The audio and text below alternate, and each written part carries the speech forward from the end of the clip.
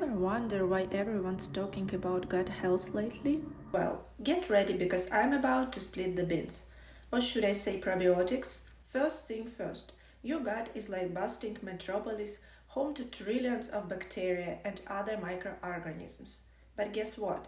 They play a huge role in our overall health. Plus, about 70 80% of your immune system hangs out in your gut. So, a healthy gut equals a superhero boost for your immune system. And get this your gut and brain are besties. Keeping your gut happy means better mood and less stress. So, let's show our gut some love. Remember, eat those veggies, sip the kombucha, and keep those probiotics coming. Stay gut tastic.